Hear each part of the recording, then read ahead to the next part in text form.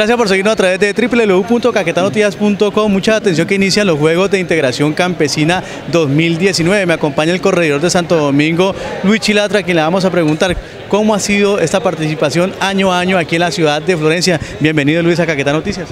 Yo muchísimas gracias por esta gran oportunidad aquí de participar en el noticiero Caquetá Noticias.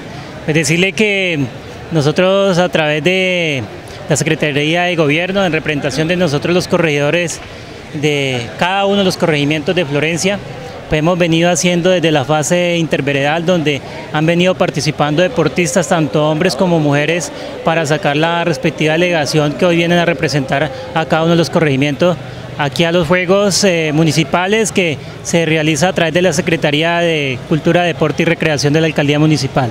¿Qué significa para estas personas que viven en el campo venir a participar de esos Juegos?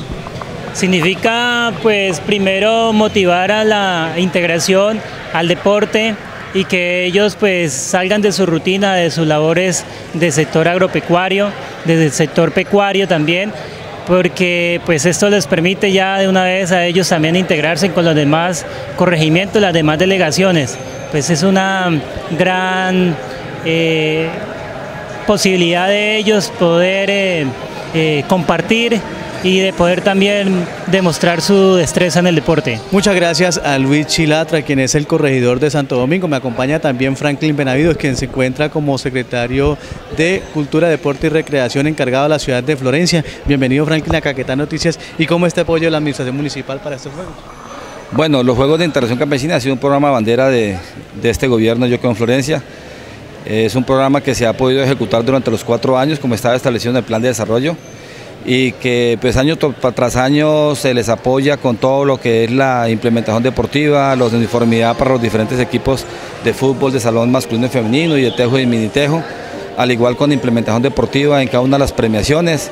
Igual se les garantiza por parte del municipio lo que tiene que ver con el hospedaje y la alimentación durante los tres días que se encuentran en la ciudad y también como novedad también eh, la posibilidad que tuvimos durante estos cuatro años gracias a la voluntad política de nuestro alcalde es la presencia del corregimiento del Danubio en estas justas que nunca lo habían tenido la oportunidad y se les ha brindado también el transporte para que ellos mm, garantizarles que puedan estar con nosotros en estas justas deportivas. ¿Cuál va a ser la premiación?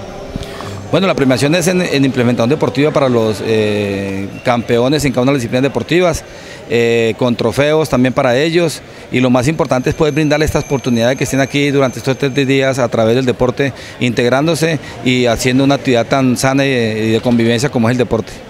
Muchas gracias a Franklin Benavides, quien es el secretario de Cultura, Deporte y Recreación encargado de la ciudad de Florencia y da a conocer precisamente el apoyo de la Administración Municipal a estos Juegos de Integración Campesina del año 2019 que se realizará hasta el próximo sábado aquí en el barrio La Estrella en la ciudad de Florencia. Soy yo Martínez informando con la Cámara de Patria Murcia para Caquetá Noticias.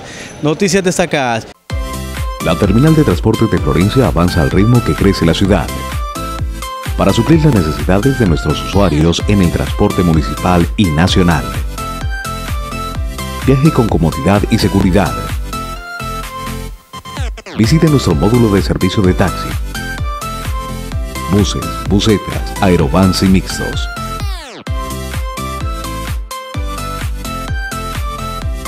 Vigilado por la Superintendencia de Puertos y Transporte.